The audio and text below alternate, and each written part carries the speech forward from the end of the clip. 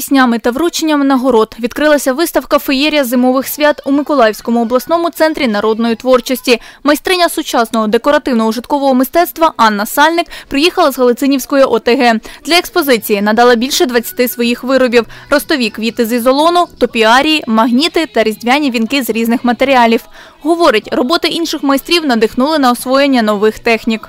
Ну, Мені дуже сподобалось соломки. Дуже сподобалось. І також дерев'яні вироби. І, взагалі все гарне. Також я, е, ну, я також недавно почала малюванням займатися, навчатися малюванню.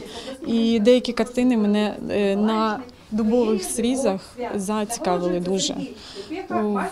Я була на виставці минулий час, коли представляли тут майстриню, яка займається цим видом мистецтва.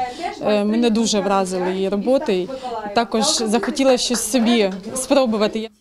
До виставки увійшли понад 200 виробів з Миколаївщини, вишиті й ткані, різьблення по дереву, розписи, валяння, ляльки-мотанки, іграшки, соломи тощо. Захід відкрив роботу мистецького проєкту «Етносвітлиця». Директорка Миколаївського обласного центру народної творчості та ініціаторка проєкту Наталія Баштова говорить, головна ідея – підтримати майстрів-аматорів та відродити народні промисли рідного краю. Участь для митців безкоштовна. Хотілося мати таку етносвітлицю трансформер, де можна було підтримувати і народну творчість, і сучасну творчість, Е, тому що в нас є і художники, у нас є і майстри, у нас є і фотохудожники.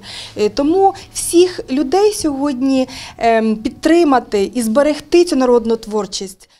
Такими витинанками прикрашали також стіни, також вікна, як у нас, подивіться, вони замінювали гарні фіранки.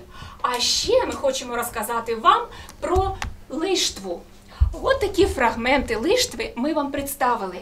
Це довгі-довгі стрічки різані, які розміщувалися по сволоку, а також прикрашалися на намисниках і на поличках.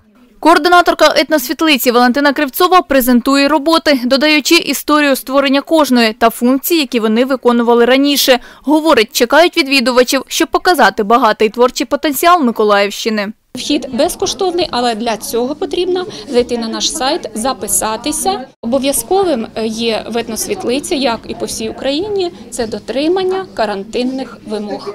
Ми вже намагалися відбирати кращих із найкращих, і е, тому е, сьогодні тут представлені роботи 15 майстрів не тільки міста Миколаєва, а й області. Виставка працюватиме до кінця січня 2021 року. Тетяна Макушева, Юрій Руденко. Новини на Суспільному. Миколаїв.